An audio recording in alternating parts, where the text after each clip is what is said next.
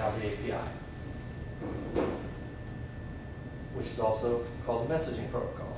Some of the pros. It provides access to all aspects of the Jaz internals. Anything that you can do on a Jaz, you can do through the API. Anything. Everything that's available, every device, every command for every device that's available is available through the API.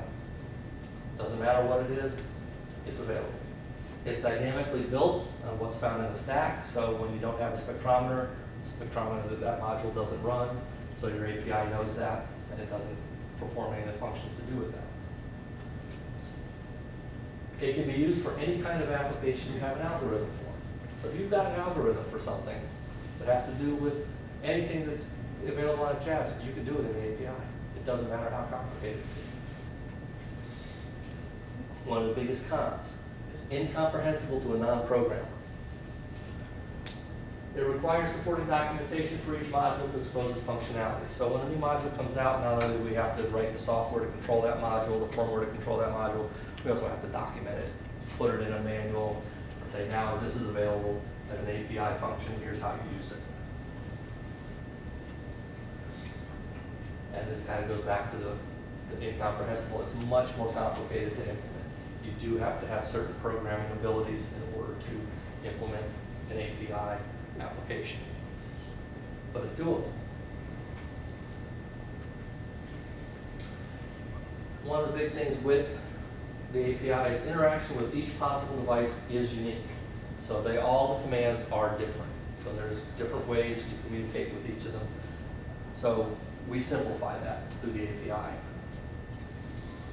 There's a large number of commands for each device. Spectrometer may, may not have so many commands, but a LAMP module or the Indy may have a lot of commands that are available, a lot of things you can do.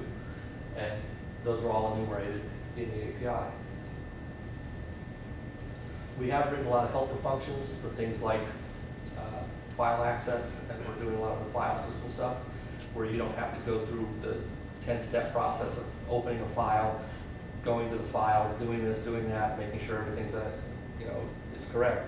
You can just say open file, and that function exists. That gives the user freedom to do what they want and need to do. So no matter what it is that you want to do, you can do it. So we're back to our little pictures. We've got our Jaz running here with all our daemons and an application layer and a Jaz API. Your application runs in between those two layers. It's using the API and you have an application. So that's kind of running in the middle of those two. That is then communicating with the API. So now, our little go get spectrum example, get a spectrum, one, two, three, or right, no, one, two, three steps. You've gone directly to the spectrometer through dispatch, as you're talking directly to dispatch. You told dispatch, go get me a spectrum. It went and got the spectrum and came back. So when we saw the scripter, I did that scripter example, we had to go through three, or we went through six steps to get a spectrum. Here we got one, two, three, four.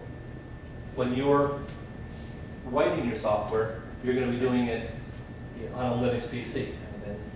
And that Linux PC in your application is going to communicate directly with dispatch. This is going to kind of be gone for that time being, and you're going to be using this instead of this layer. So you're going to be writing it over here and running it over here. Everything's going to be executing on the Jaz like you were running it on the Jaz, but you'll get your debugging and your, the ability to do your debugging and all that on your PC. Otherwise, you run an application, you wouldn't have any idea whether it was working or if it did work, why, why if it didn't work, why it broke. Here, you're able to run debuggers. We use a couple of different debuggers and things that, that we use that are readily available. One of them's called Valgrind, and the other one's called GDB. And they're just debugging tools that you can debug a Linux C program. So that's, that's how that works. That's how that operates. That's how your application would be developed. What types of applications do we do?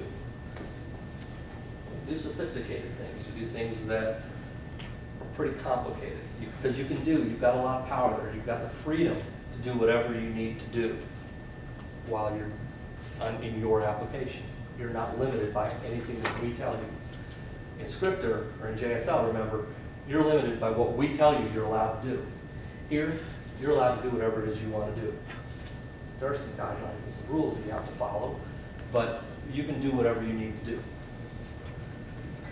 Anything that you don't want to run on a PC.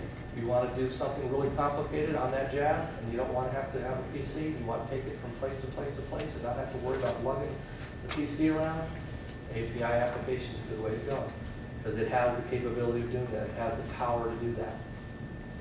So in, in, summary of what you can do with this, anything. Anything that you can have an algorithm, anything that you can do, you can do an API.